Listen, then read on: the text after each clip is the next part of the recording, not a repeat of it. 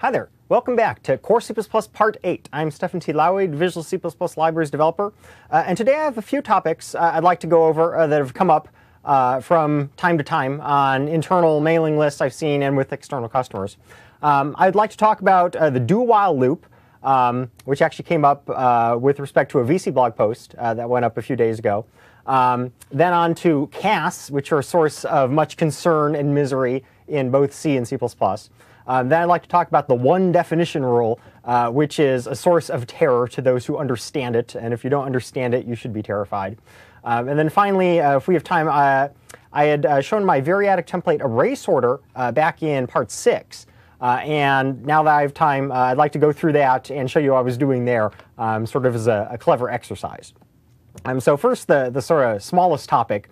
Um, you know, C++ has, it's got while loops, it's got for loops. Um, it is go-tos for people who are evil. Um, and there's also this do while loop, which people occasionally use. I'm not fond of it. Um, I actually forget where I learned this. I'm probably quoting one of my C++ books verbatim.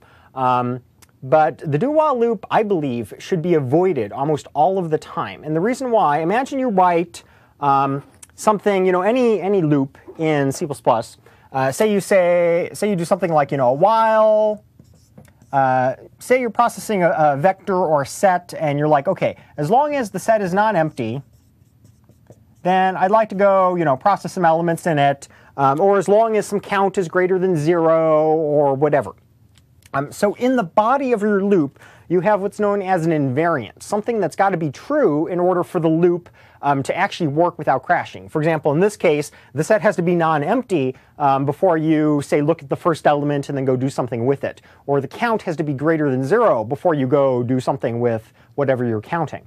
Um, if the if the invariant of the loop is violated, uh, that means that you could be doing work when you're not supposed to be doing work, or you could be dereferencing some pointer that's bogus, or going off the bounds of whatever, or trying to access an element of a container that's empty, things like that. So the, the invariant of your loop has to hold.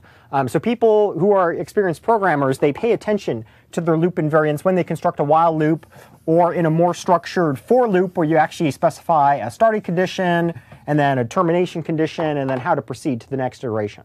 Um, if you have a do while loop though, things are strange because when you say do stuff and then you say while condition, like this, it's even strange for me to scribble out. Um, what happens is that the body of the loop, the stuff here, it's executed unconditionally the first time around. You always go and do the stuff until you hit the end, and then the condition is evaluated. And if that's true, then you'll go do it again and again. So the condition is being evaluated at the end of each uh, cycle of the loop rather than the beginning, as in, say, a for loop or a while loop. So this is strange. Sometimes people use it, um, but I'm convinced that whenever you're tempted to write a do a while loop, um, you should try and think really, really hard if you can possibly avoid it. Because when you execute the body of this loop, either the actual loop invariant condition or something very close to it has got to hold in order for that body to actually be valid and do anything. Um, so really think about what you're doing the next time you're tempted to write a do a while loop.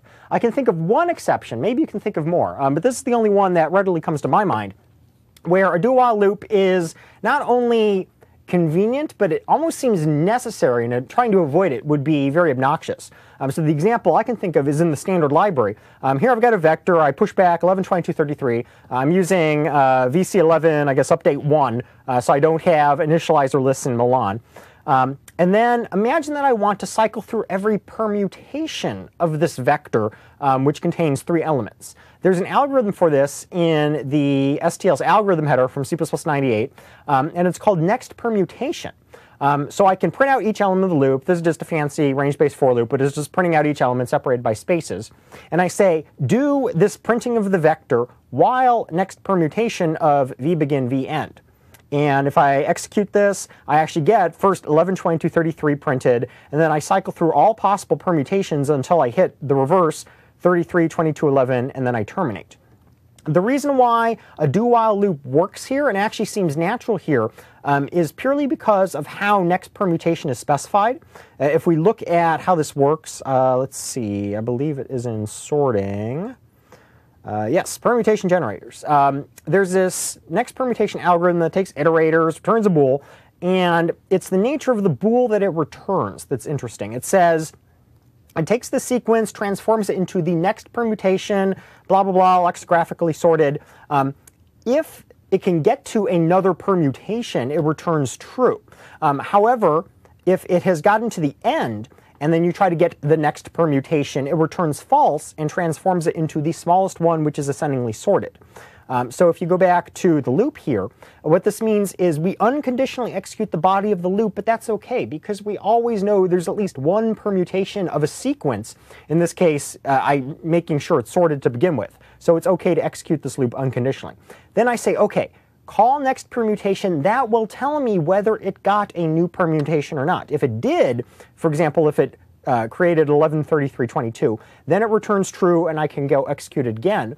Um, however, if it found, oh, we were already at 332211, you ask for a next permutation, there isn't one, I'm done, it'll transform it back into 112233 and return false, and then we exit the loop. So the semantics of next permutation basically exactly mirror um, the way that a do-while loop uh, is specified. This is the one case in which I'm willing and actually eager to use do-while loop. In every other case, I really try to avoid it. So the next time you're tempted to write one, uh, think about that. Okay, so that was a very small topic. Um, on to casts, which is completely unrelated. So casts, I, you know, people write them all the time, and sometimes, oh, I want to open up the standard. Um, sometimes I'm convinced that they don't, they're not really thinking about what they're trying to say. Um, I'm always big on the the C++ language is a way for programmers to express themselves to the machine and to other programmers. And you should always be trying to think, you know, what am I saying when I write a program? If you just write stuff to try to make the compiler shut up and compile and hopefully do something that looks reasonable, that's, uh, that's not good craftsmanship. So when it comes to casts, they're very dangerous because they're an excellent way to make stuff compile, um, but they're also an excellent way to shoot yourself in the foot, as the proverb goes. So I'm going to leave CCasts aside for the moment. One of the confusing things about casts is that there's so many of them. Um, there's four C++ cast. You got your static cast, um, your const cast, your reinterpret cast, and then your dynamic cast.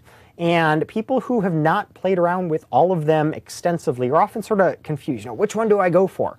Um, so here's just sort of my quick overview um, of the standardese and what you're trying, what you're really saying when you say a cast. So static cast, in some sense, is well, okay. Const cast is the simplest. Um, yeah, let's do con const cast first. So const cast is extremely simple. Um, what it does is it casts away constness.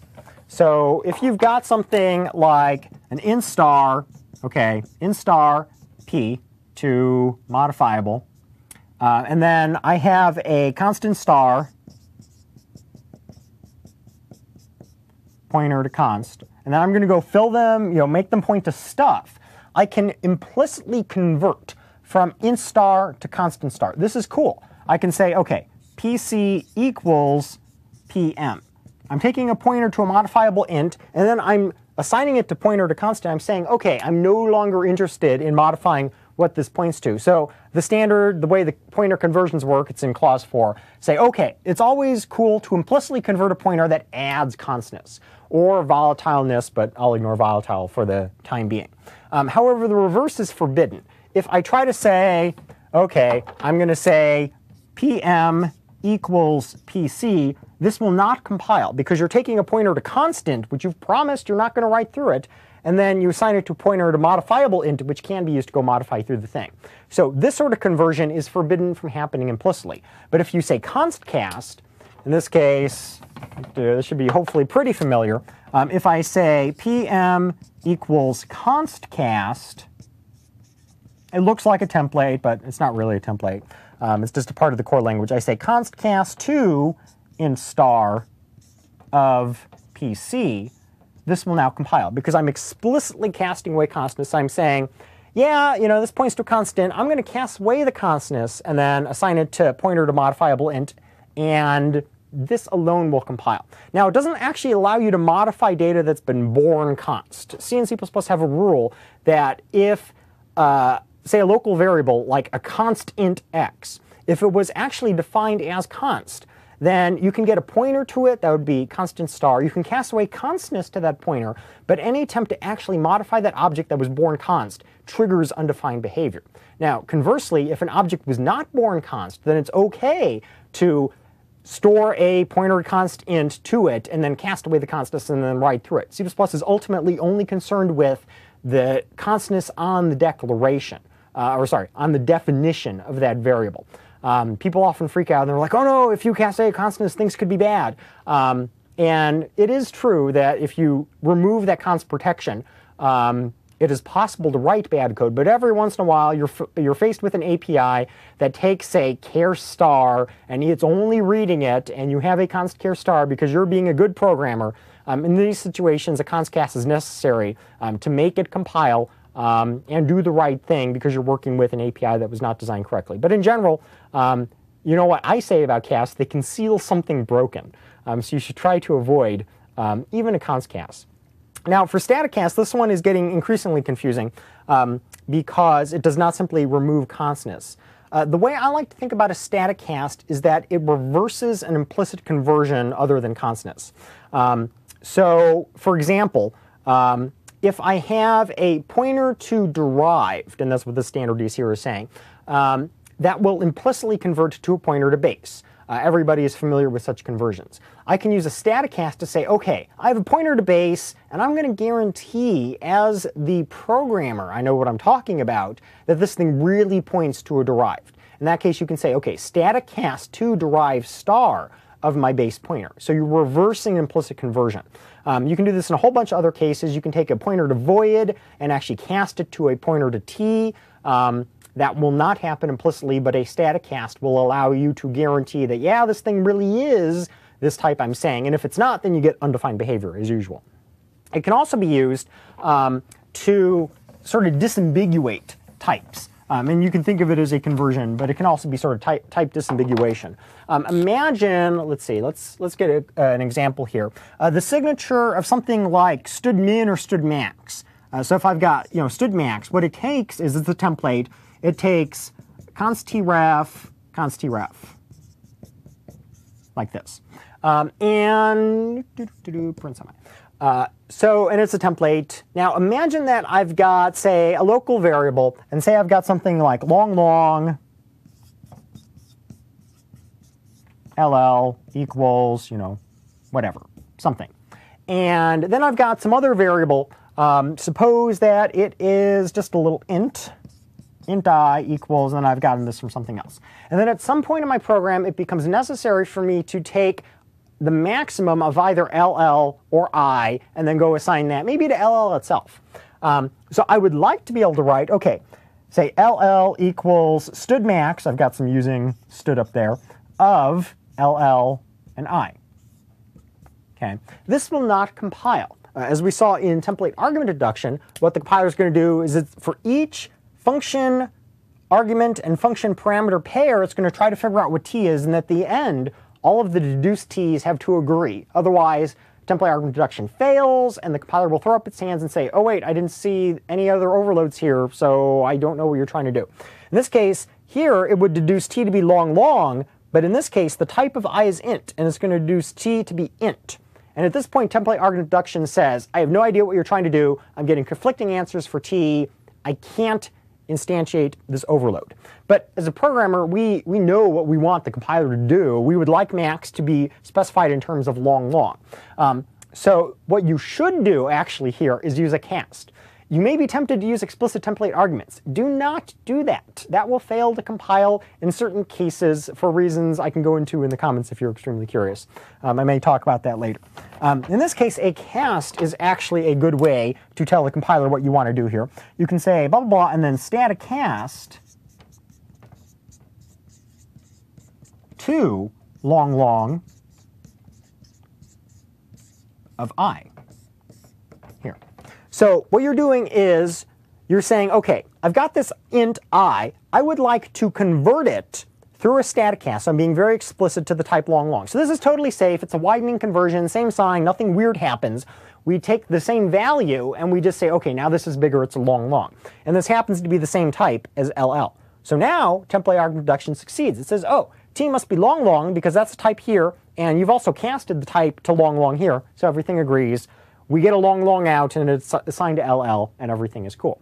Uh, so static cast can be useful in cases where you would like to explicitly convert types um, when just preserving the original type would not be necessary or not be desired.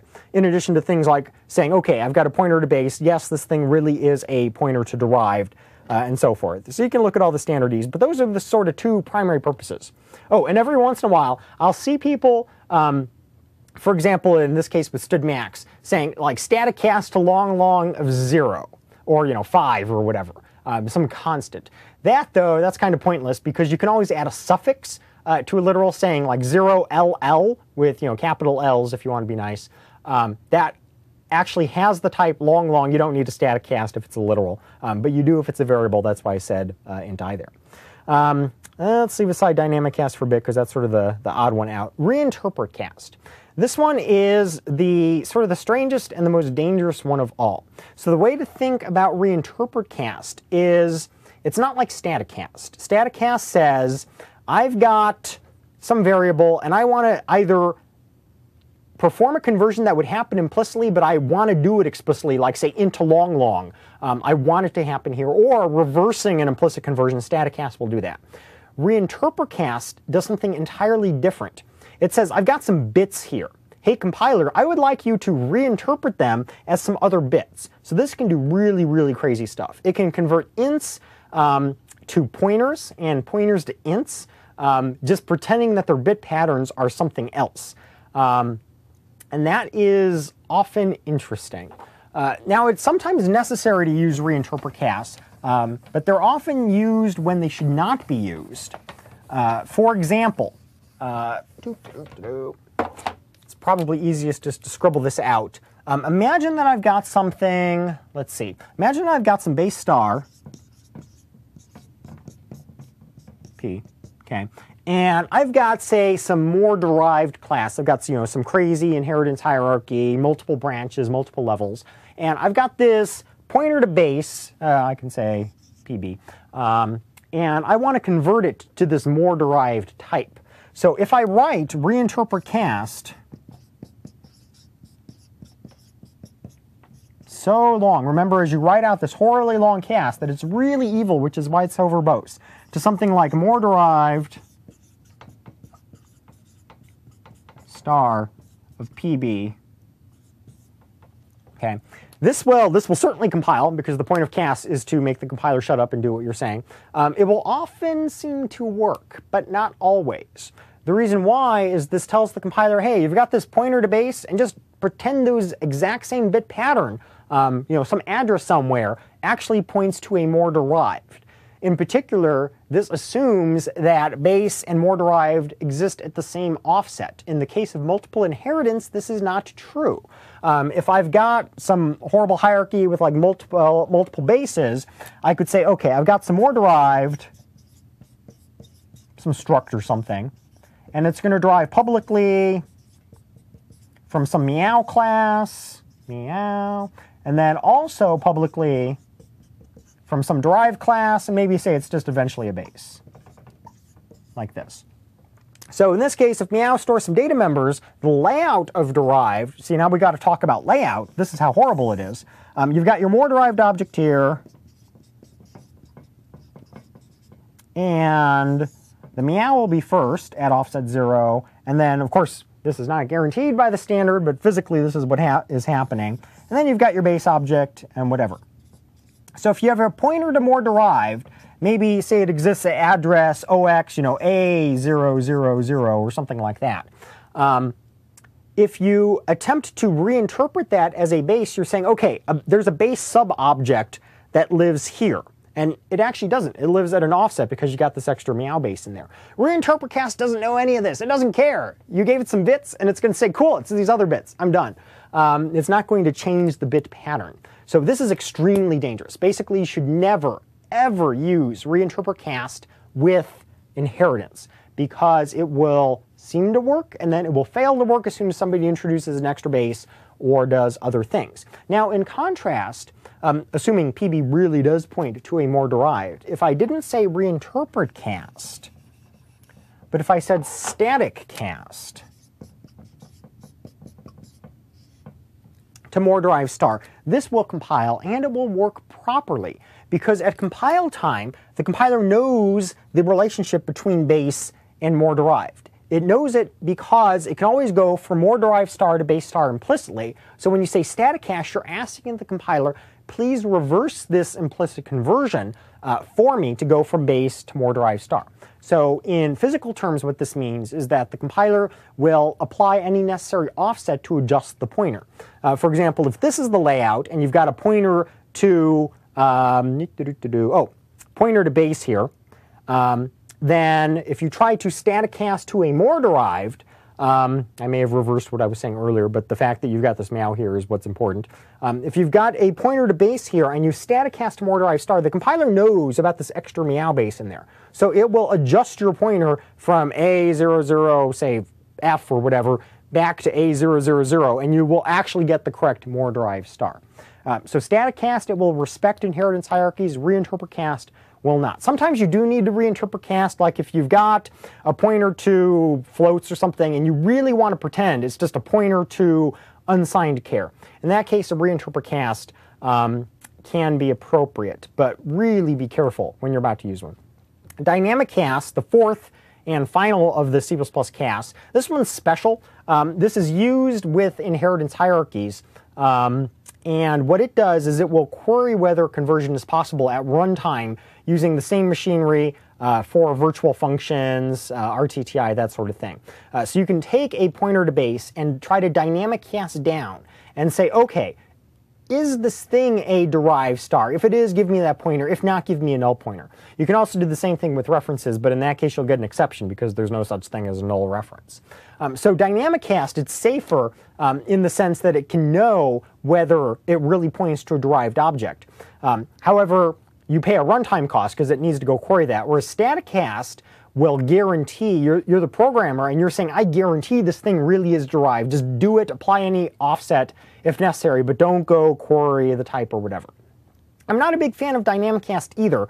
Um, I don't like I don't like cast in general, but dynamic cast, oftentimes people will use it when they really should just be using virtual functions. If you're trying to write something like, okay, let's try to dyna dynamic cast down to derived one um, say I've got a polygon base class and I'm trying to cast down, dynamic cast down to triangle star and then go do something, or try to cast down to rectangle star, do something.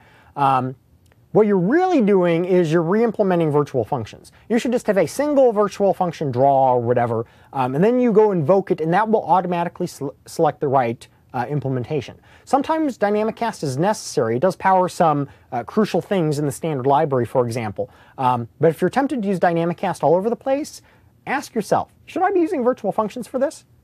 So those are the four C++ casts. Um, I said I was leaving CCast to the end. Uh, so let's go look at those. Let's see, that's section 5.4. Okay, so C casts, they are the worst and most horrible of all casts uh, because they will expand any of the three C++ casts except for dynamic um, unpredictably. Uh, so when I say C cast, I'm specifically talking about, okay, I've got some thing X, and I say, okay, cast it to a T. So I could say, you know, paren int of X, or, you know, void star, whatever, whatever type in parens. We're all familiar with CCast. Uh, now, in C, things are pretty simple. Um, in C++, the, because we have these C++ casts that describe things at a very fine grain, the C cast is actually specified in terms of the C++ cast. And here's the standardese, and this should actually start to scare you. Uh, let me zoom in on this. So the way that a C cast is specified is it will try to do C++ casts in a certain sequence. And the first one that can actually work, it does um, in human terms, in English terms, the CCast is really desperate to make your code compile. And it will do whatever is necessary almost um, in order to make it compile. This is scary because although you can figure out by looking at the code closely what a given CCast will do, um, you have to look at the whole context. Um, and it can get very desperate. So a CCast will try to cast away constness, and if so, that's all it will do. But it will also it's also willing to do a static cast or a static cast plus a const cast, or if there is no way to do a static cast, it will go all the way to just reinterpreting bits. Um, so this means uh, for example, and I've actually seen this in production code, imagine I've got a pointer to a base, and I say, okay, I'm going to do a CCast to derive star. This is dangerous. This is exceedingly dangerous because it's going to try to do a const cast, that won't work. Then it's going to try to do a static cast. Now, most of the time this will work if there is in fact a relationship between base and derived. Um, however, suppose that you get it wrong. And you might be saying, okay, I could never get this wrong. Yeah, you can get it wrong. Um, if there is no inheritance relationship between your base and derived, the C cast will be willing to go all the way to a reinterpret cast and just pretend that these bits are some other bits, and then it'll compile. Um, how could this happen? Well, you could have heavily templated code. And base could be base templated on stuff. Derive could be templated on more stuff. And if you get all of your template stuff slightly incorrect, there could in fact be no inheritance relationship between base and derive. Now that would be a bug. Um, however, it would be nice if it simply failed to compile, so you were informed of the bug. Instead, if a CCast becomes desperate and goes all the way to reinterpret cast, you will not be informed with a nice compiler error. Instead, things will simply compile and then crash at runtime. I have seen this in production code in the STL. It is bad. Do not use CCast if you can possibly avoid it, and you can generally always avoid it. Um, instead, figure out exactly what you want in terms of a C++ cast and actually write that out using the verbose syntax. It is verbose for a reason. Um, the reason is A, to make you think twice, and B, it's actually searchable, greppable. Um, so if I'm looking for all of the casts in my code, searching for a CCast is terrible. I mean, look at this stuff. It's got parens, maybe it's got a star in there if you're casting to a pointer. You can't really search for this. Searching for parens will give you like all functions and stuff. Um, you could if you've got something that will actually parse it and give it an abst abstract syntax tree. Um, but that's really high-powered machinery. Whereas if I'm careful about always saying static underscore cast, reinterpret underscore cast. I can search for that very easily in any editor I like. Um, so you should really try to stay away um, from CCast if you can possibly avoid it. Now, you may be wondering, oh, well, I don't like writing that, but I can say something like this. I could say int paren x this is what is, it's sort of interesting. It's known as a functional style cast. Uh, C++ added it a while ago, um, and it is actually not cool. Uh, here is the, the standardese over in 523. And we do need this, uh, this sort of notation in order to construct temporary variables um, from nothing or from multiple arguments. Like if I say, you know, vector int paren, blah, blah, blah, um, that's going through this notation. But when there's a single argument, um, look at the standardese here. It's saying if the expression list is a single expression, this uh, functional cast is equivalent to the corresponding cast expression. So what this is saying is, if I write something like int paren x, this is equivalent to the CCast. It is new style syntax, new meaning in the sense of being added by C++, for the old style CCast. So they're essentially equivalent. I am not, I'm equally distrustful of both of these because A, they're both impossible to search for, and B, they are both willing to go all the way to a reinterpret cast if necessary. Um, so if you've been writing this sort of syntax, um, thinking that, oh yeah, you know, this is the new style way, no, it is bad. Avoid it. Always use the blah, blah, blah underscore cast um, if you're going to do casting. Uh, so that is cast, which comes up uh, pretty often. Uh, let's see. Okay, so I also wanted to talk about one definition rule in this uh, grab bag of topics. So the ODR, as it is known, is many many people have heard of it. Some people have never heard of it, which is actually kind of terrifying, um, because it is it is so central to almost all C++ programs because of how header header files and source files work and macros. It mixes a whole bunch of things. And the worst part is that when you violate the ODR, typically you do not get um, any notification that you've done so. Instead, stuff just bizarrely stops working. Um, I have actually spent what seems like years untangling ODR issues. Um, so the ODR, what it, what it is saying is when you compile, here, let me sketch this out because often people people don't even really think about the structure of a program. What you've got is you've got a bunch of translation units. I'm going to say TU here. This is this is the way the C++ standard sees the world, and these all go into a single program. Okay, um, so you end up with, uh, I'm just going to say executable at the end. I'm going to ignore like DLLs and stuff here, but they're basically equivalent. Um, the way that it really works when you compile is your translation units become object files. So this is compiling. Then your object files get linked together. Okay, this is cool. Okay, so the, the standard translation unit, what this means is you can think of it as a source file plus all of its headers included recursively. It is the thing that is given to the compiler after pre-processing. Um, so translation unit is really a CPP uh, plus any headers, so HPP or .h or whatever extension um, you're fond of. All of these get included, uh, I guess I can draw that arrow the other way around, um, to make a translation unit, then it gets compiled into an object file. So what the one definition rule is saying is imagine I've got some function, uh, void foo, um, that's defined in some translation unit.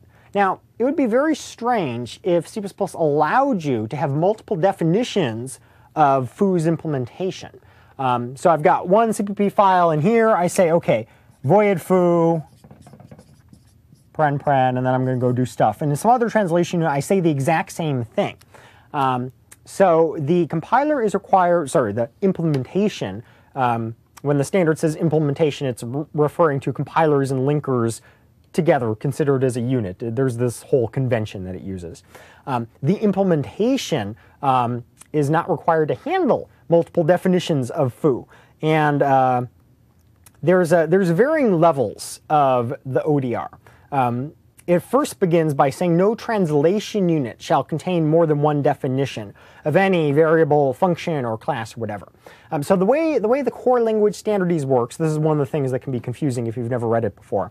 Um, when it specifies something using the wording shall, um, that means that if that sentence or paragraph or whatever is violated, the compiler or linker um, is required to issue a diagnostic, a guaranteed error.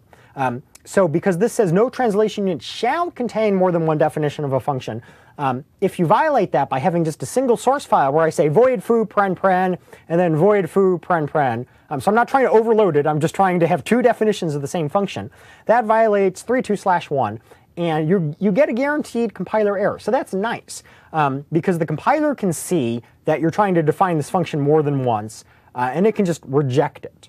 Um, then there's, there's more levels. Um, so if you look through the rest of the ODR, and it, it's pretty complicated, um, so I'm just going to sort of scroll quickly through here.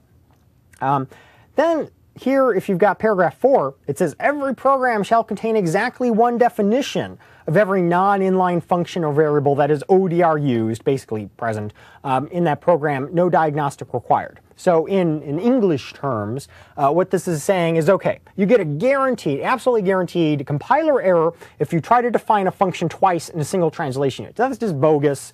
We're not required to accept that, and you'll get an error. However, if you have two translation units, let me put over here, um, say I've got TU number two over here, and this says void foo as well, like this, and TU1 also said void foo, okay? This is violating 32 slash 4 because your program, your final executable, or DLL, um, although the standard does not recognize the existence of DLLs yet, um, you have multiple definitions for your foo taking zero arguments. Um, and it's not an inline function at all. Um, so you violated that, and because the standard said shall here, ordinarily that would mean compiler error required or linker error required. But in the same breath, it also said no diagnostic required. This is the part that makes the ODR fun, because when the standard says no diagnostic required, what that means is that you, the programmer, have to follow that rule. If you violate that rule, the compiler and linker do not have to complain about it to you. They are allowed by the standard to accept whatever horrible garbage you wrote and then emit something um, that does whatever. It could work perfectly, it could crash, it could misbehave two years later, or the compiler could actually diagnose it and emit an error. Um, you are given no guarantees. It's undefined behavior.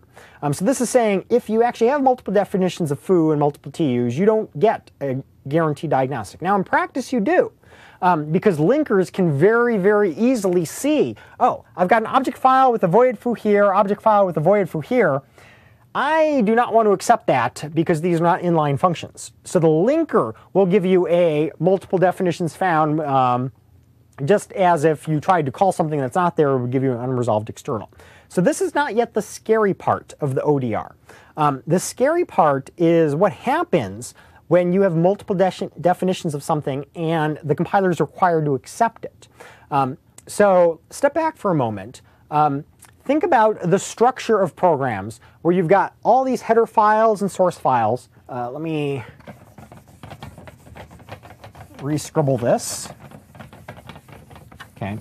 People often vary down on the whole header file, source file structure. And yeah, you know, if we get modules in C++, they'll be nice for, you know, compilation time. But I personally do not consider header files to be some sort of abomination.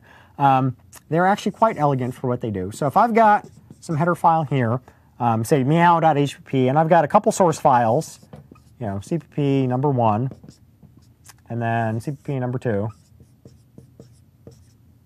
I could have a single header included into multiple source files. Now, by the way, this is nothing whatsoever to do with include guards. Um, that whole if, and, f, and then I need a macro that's very unique to my header, but I'll just say meow. Then define meow. We all, we all have seen this.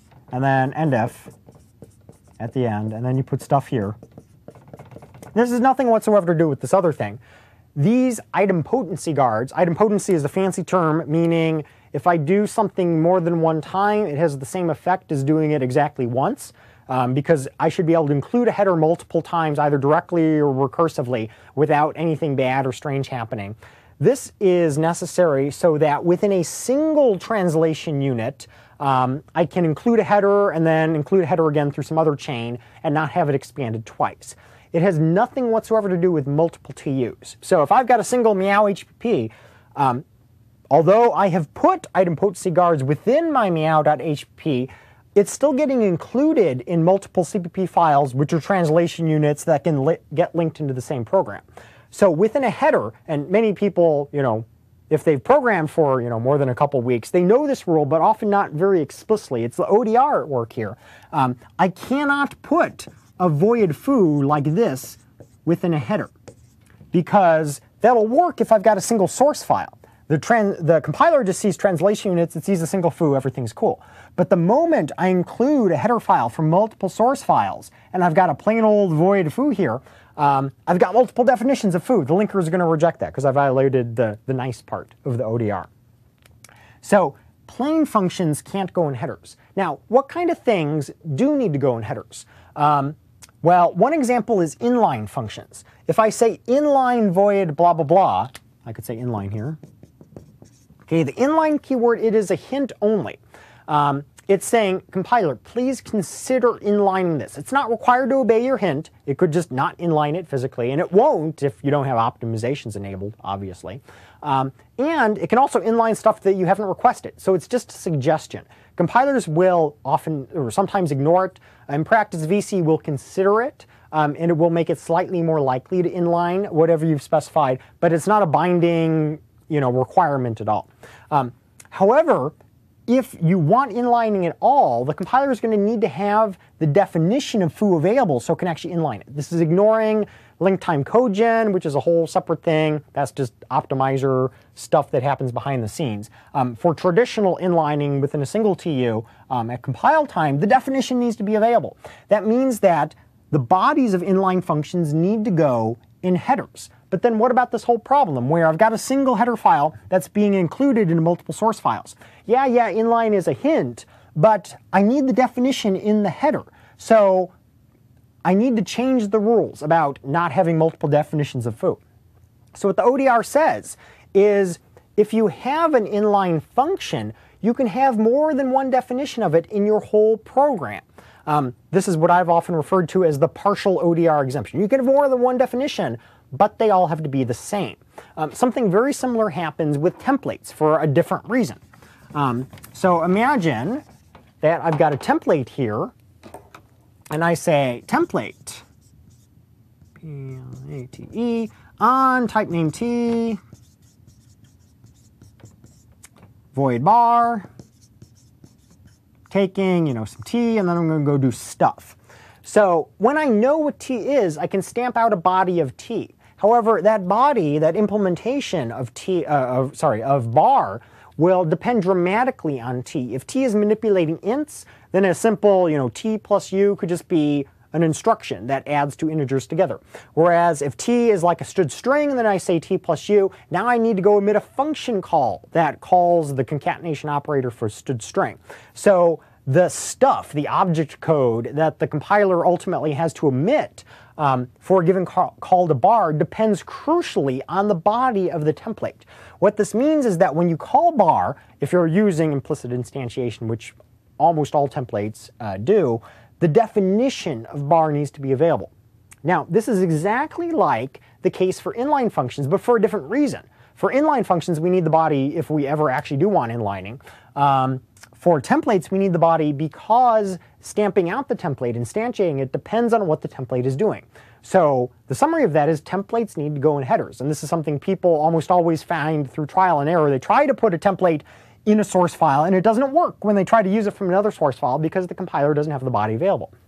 So the definitions of template functions, uh, function templates, need to go in headers. But again, this could appear in multiple TUs. So template functions, function templates, I keep saying it in the wrong order, um, they also receive this partial ODR exemption. Um, so what the standard says is you can have more than one definition of inline functions or function templates in a whole program as long as their definitions are exactly the same. Um, if they are not, you violate the ODR, no diagnostic required, and in practice, the linker will not complain. Stuff will just link, and compile and you know everything will seem okay until your program misbehaves horribly. Um, this is the real scary part that you really need to obey. And there's these whole conditions about what it means to be equal. Basically, they can't differ except for white space. Um, they allow white space to be different because that's okay. So what this means is that if you put an inline function or a template into a header, then you're okay um, because the definitions that appear in every translation unit that gets compiled will be identical. What the linker will physically do is when it sees all these object files um, being thrown at it uh, with multiple definitions of your bar template or your inline function foo, it'll pick one whichever one it likes, and it's going to throw the rest away. Um, in fact, it's referred to as a pick any or select any comdat um, in VC's terminology, comdat meaning like common data or something. Um, so what this means is that if your definitions differ, the linker will appear to select one at, at random almost, and then use that, um, not using, just completely ignoring these other definitions. So don't allow them to differ. This means don't just define stuff, um, like if you've got a header, centralize it. Don't just repeat um, things like templates because you know the body. Don't copy and paste code. Put it in a header. Um, the other thing uh, to respect the ODR is be extremely, extremely careful, and this is another thing that it feels like I've spent years fighting. Um, if I've got a header, uh, suppose I've got my meow HPP, okay, and I've got, you know, my idempotency guard, so my if and def meow and all that stuff, and then I say something like, okay, if def, or maybe I say if, um, okay, if def, um, if def mode x or whatever, then I'm going to say, okay, template on, you know, type name t, blah, blah, blah, void bar, okay, uh, taking a t, and then I'm going to go do things. Um, I'm going to maybe call stuff one or stuff x. Okay, stuff x sounds good. Blah, blah, blah. Um, else, if I'm not in mode x, then I'm also going to have a template bar, because templates need to go in headers. And instead I'm going to go do something else. So other. I'm going to go call other, and then I'm done. Okay, so exact same, you know, template, blah, blah, blah. I'm just scribbling there. Um, so what I've done is I've put code in a header, whether it's a template function or an inline function or both. um, and I've made it dependent at preprocessor time on some macro that switches between modes. So this itself, it's not, it's not incorrect, but it's extremely dangerous because it's correct if all of the header files and source files that are compiled into a whole binary, um, a whole exe or DLL, um, agree on the setting of mode X. In that case, everybody sees either the definition that calls stuff X or the definition that calls other, um, and everything is happy because all the definitions are the same. However, if you've got multiple translation units that disagree on the setting of mode X, what have you got? You've got one definition of R that calls stuff, stuff, um, stuff X and another definition that calls other.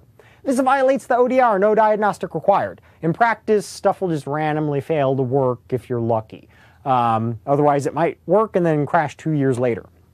So when you write code in headers, be just be extremely careful to not make it depend on macros to switch modes. I like to say modes are evil.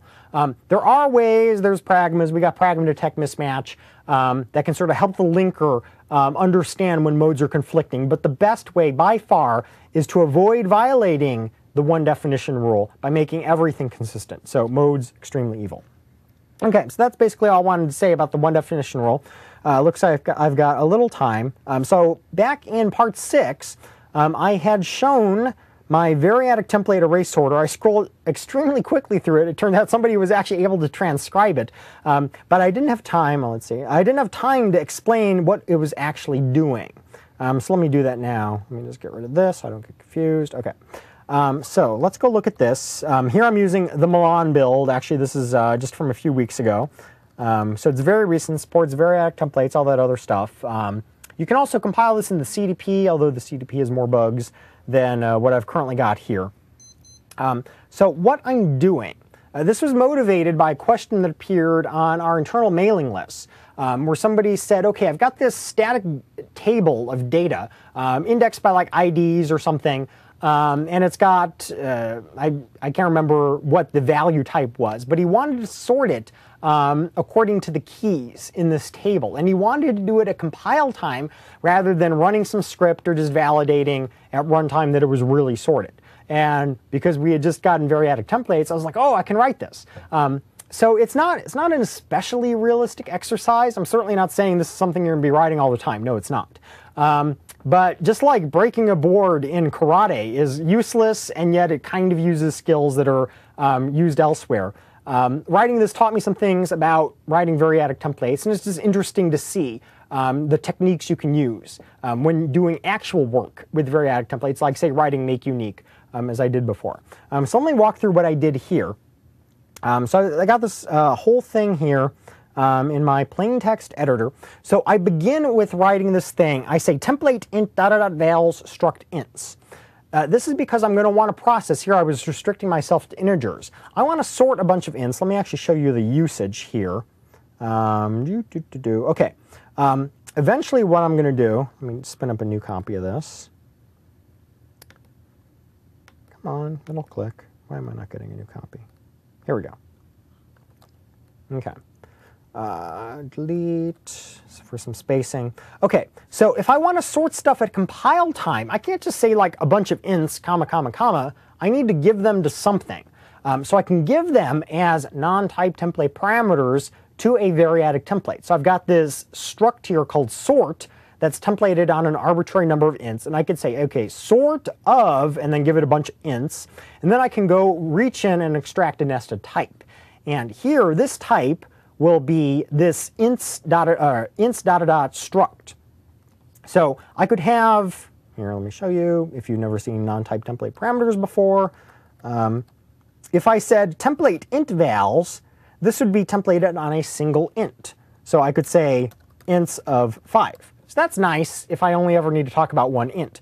But if I want to be talking about an arbitrary number of ints, I can package them up by saying int dot dot. Now I can say ints of something like, you know, 11, 22, 0, negative 9, whatever. And this is a valid type to talk about. It doesn't do anything. That's why it's an empty struct. Um, so this will be the way that I package ints up and then manipulate them later. So that's sort of the first helper that I needed. Um, then, because I'm eventually going to write a merge sort, I need a way to concatenate two lists of integers together. So that's what this concat helper does. Um, let me show you what this does. Copy it out to a new editor. Okay, so I've already got my ints there. Uh, let me rewrap this a little nicer. I had written this in a wide editor, but I've reduced my resolution to project here. Um, okay, so what I've got here is a declaration of a struct, and it's templated on two types. This is not a variadic template. Um, so here, just given this, and I haven't even bothered to give concat an actual definition, but I could talk about the type concat of like double and, I don't know, void star or whatever, or, you know, many pointers. This is okay because it's templated on two type names. I've given names to them that are suggestive, but this doesn't have any actual requirements. There's no concepts. The reason I've done this is because I then want to partially specialize concat.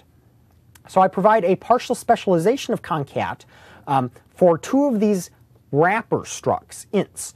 Um, ints of vals1 dot dot dot and ints of vals2 dot dot dot. And so this one, if I say concat of ints 1122 and then ints of 0 and 55, this will select this partial specialization. If I say anything else, like concat of double and ints of you know, 0, this does not match the partial specialization that we saw in the specializations episode, because no choice of vals1 dot dot dot um, can make ints of vals1 dot dot dot equal to double. So this is bogus, this would be bogus. But that's okay, because I don't ever need to say this. I'm only interested in saying concat of a couple ints. And the way to access what those ints are is this whole partial specialization thing. Um, so if I just had an empty struct, that would be nice, but it wouldn't do anything useful. Um, so I've got this nested type here. Within the definition of my partial specialization, I can refer to these uh, what are called parameter packs of vals1 and vals2, and then I can recombine them in interesting ways. Um, so I can say, okay, vals1 dot dot dot will expand all those arbitrary vals, vals2 dot dot will expand those, and then I can glue them together into a single ints wrapper. Um, so usage here looks like if I say concat of ints 1122 and then ints of 055. They don't need to be sorted or anything. They could be negative, whatever. Um, double colon type, this is identical to ints, I could compile this, but this is what it would give me, of 11, 22, 0, 55. So it's a way for me to glue together two lists of integers, but it's done through the mechanism of partial specialization and having a nested type here. So this is just sort of a fundamental technique, I won't say trick, um, when processing parameter packs. So now I know how to concatenate. Um, so the, the heavy lifting of a merge sort um, is done by uh, this bisect helper and then this merge. Uh, do, do, do, do, yeah, I got the merge helper there. I'm trying to remember what I was doing. Okay, so let's see, bisect helper. Let me copy this. Okay, so what I was doing here, and I'll post this code um, on my SkyDrive uh, for you to look at uh, rather than trying to transcribe it from the video. Please don't do that. Okay, so imagine, let's see, here's usage. Okay, so I've got a list of integers. What I want to do is I want to break it up in half. I want to bisect it. Um, now there was an easy way I could have written this, but I actually chose to write it a hard way. So usage will look like here. Here's the outer struct. Bisect, it's templated on a single type name and again, I don't even bother providing a definition for this because I'm never going to use the primary template. I only want a partial specialization, bisect for ints of vals. So usage will look like bisect of 11, and then 55, and then 0, and then negative 9, and whatever. Like this. And then, of course, I'm going to want to reach in and get a nested type. Um, so I've said ints vals dot dot dot. I'm going to then call a helper. I'm saying call even though I'm really deriving from it. Everything is happening at compile time, um, and I'm defining these things uh, recursively. Uh, so let me show you what the helper looks like here. Uh, doo -doo -doo, like this. I'm just reformatting it to make it wrap nicely. Okay, so bisect is a wrapper um, because I need to process things a little before I give it to my helper. Okay, what I do is I start with an empty list of ints, and it's okay if I have a variadic uh, parameter pack to pass nothing. In fact, it's crucial that I can pass zero things. So I have an empty list here, and then I have all of the ints um, in the second argument, and then finally I need a, uh, a third uh, int, an uh, uh, count parameter that tells me when I'm done. Uh, or sorry, this is this is a bool. Yeah, it's a bool. Um, a bool that tells me when I'm done. Um, so I can use size of dot dot. This is one the one time really that the core language sort of has mercy on programmers. Um, size of dot dot is not strictly necessary. It's possible to write it using variadic machinery just like this.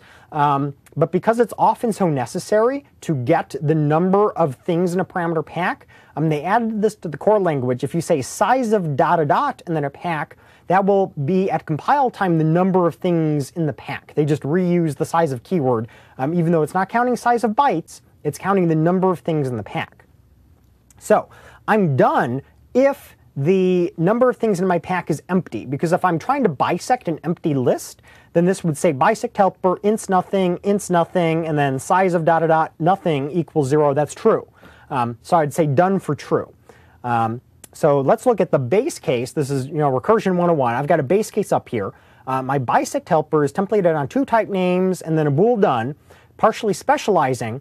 If I'm given two lists of ints and I've been told that I'm done, then the first part of what I'm bisecting, that'll just be this first parameter, uh, ints vals 1 dot dot dot here.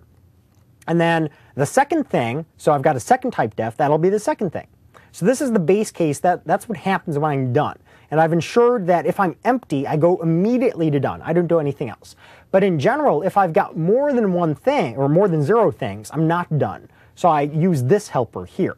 Um, and what this does is one by one, it breaks an element off of this second list, which started off with all of the values, and appends it to the first one. So this partial specialization, I need to template it on int dot dot vals 1, an int x, and then int dot dot vals 2. And what I'm saying is bisect helper takes this first list that is growing um, of vals 1 dot dot and then a second list of ints, the first element being x, and then the second and onward elements being vals 2 dot dot dot, and this is when I'm not done. And it takes the first element of ints, the second one here, and appends it and then removes it here. That's what this is doing. I'm, when I write this template, I imagine it as a physical process. This is sort of one of my techniques for writing templates. I see uh, ints of x vals 2 dot dot coming in, I break off that x, remove it, and then I append it here. Um, so this one by one is moving elements from vals here over here. And I started with all of them in the second position, and I'm moving them one by one to the first. And I'm saying, okay, I'm going to be done when the size of vals one, uh, this first list, plus 1 is greater than or equal to the size of vals 2 dot dot dot. And I had specified this very carefully uh, to handle edge cases of, okay, what happens if it's odd or even, blah, blah, blah. You can work through it yourself. It's instructive. Um, and the reason why I wrote it like this, there is actually another way, sort of an exercise for the reader. You can write a bisect fairly easily if you're not concerned about stability you can write a recursive template um, that takes two elements at a time and then feeds one to a growing first list and a second one to a growing second list, and then has conditions for ending um, on 0, 1, or uh, possibly two elements. However, that's not stable, because if I have a list of ints,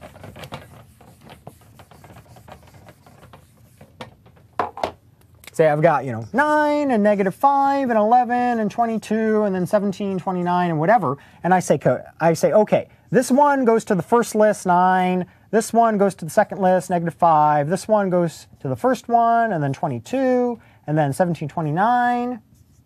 By taking every other element and then breaking that up into first and second, I haven't preserved the original order in some sense. Um, so this could lead to a non-stable uh, merge sort. And I, for whatever reason, even though ints are unique, I wanted to write something that was very general. So I wrote this so that it would preserve um, the original ordering strictly um, when bisecting. Uh, when I end up here, um, no matter what order these vals were coming in, it's going to be split um, as cleanly as possible in half into this first and second list um, here um, in the original order. So all the values will be there in the original order in first and then continuing on in second. So this can be generalized to things like um, pairs or whatever where I've got some criterion um, that permits equivalent but different elements. I actually had extended it. It is possible. So that's why I wrote it like this, although if you wanted to be uh, lazy, uh, you could break them off two at a time um, at the cost of taking every other element. So that's what bisect is doing. Um, okay, so now let's see merge. This is almost going to do the heavy lifting. Actually, this does the heavy lifting because sort helper is very, very boring. Okay, so how does merge work? Now that we've got as primitives uh, concatenation and bisection, um, what does merge do?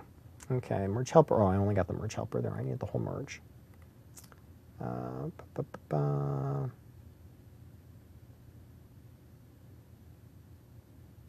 oh, that's right. I no, I've got merge. Oh, I put merge on the top. Huh.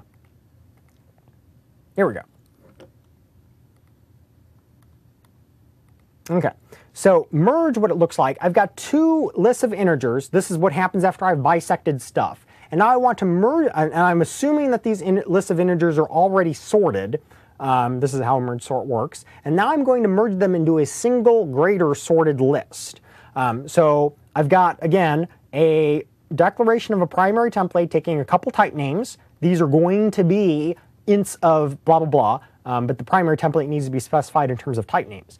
Then I need partial specializations. I need to handle all the possible cases. So if they're both empty, um, then, oh, I had to merge nothing. That's cool. I'm done. Um, so my output is empty.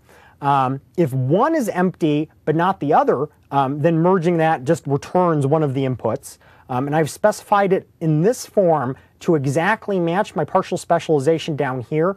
Um, if you recall, when I talked about specializations, there's rules for figuring out when something is more specialized, by writing it in this form, I'm guaranteed that the correct one will be selected and that I'm not going to get any ambiguities. Um, even though here I don't need to break off the first element, I just want all of those ints.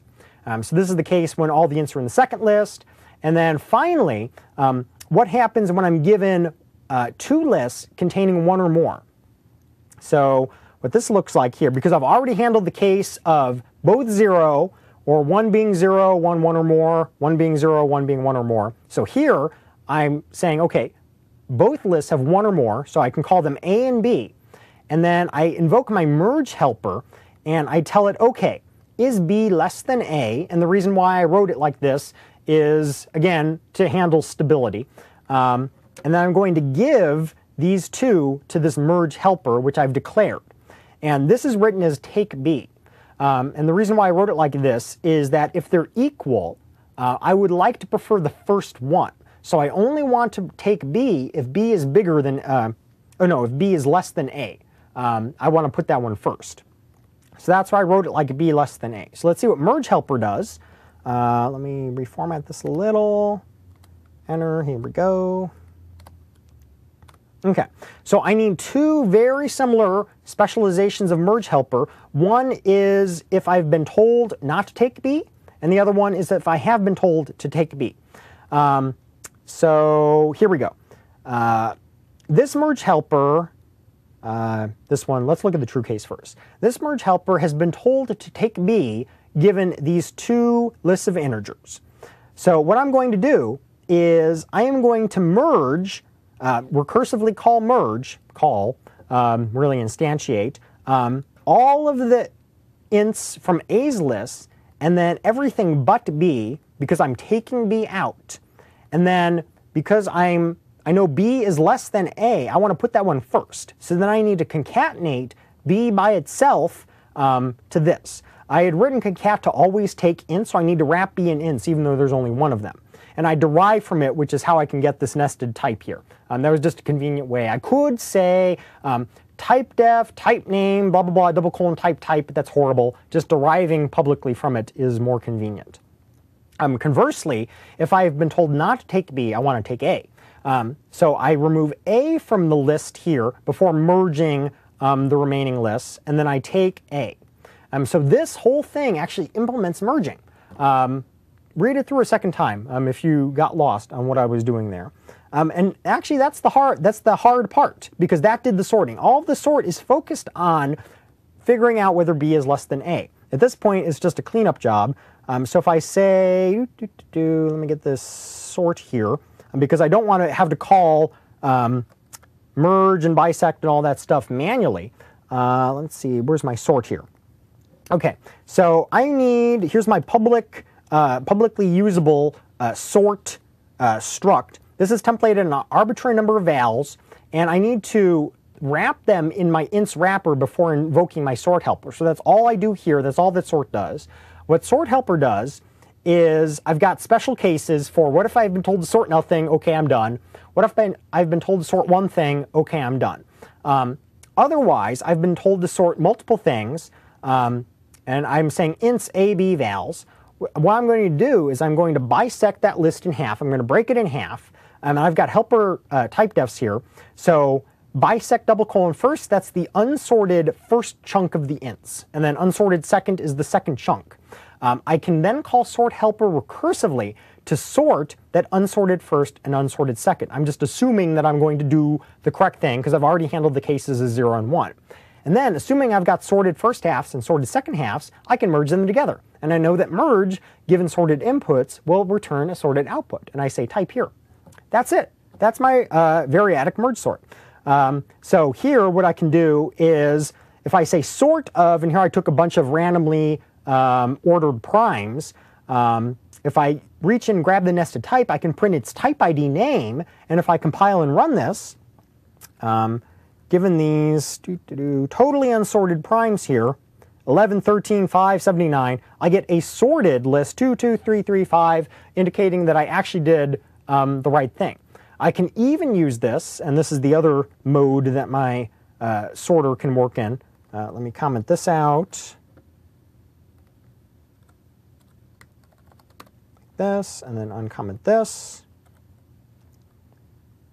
So it might be all well and good to say, oh yeah, you know, you can take the type ID of this and print it out, but can you actually use that for anything real? And the answer is yes, you can you can use this to statically initialize an array at compile time and have it be sorted. Um, so all the same machinery as above, um, except this time um, I need a helper struct in order to uh, convert this list of ints into something that can initialize an array.